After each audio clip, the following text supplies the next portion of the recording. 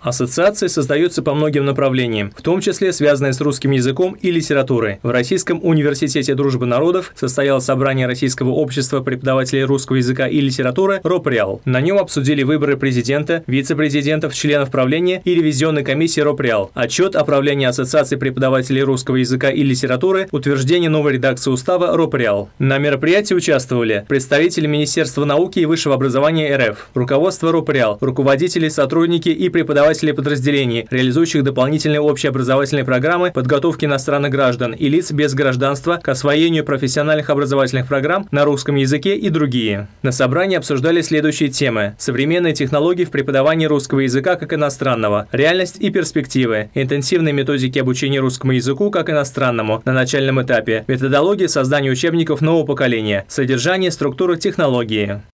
Телевидение РУДН. Новости.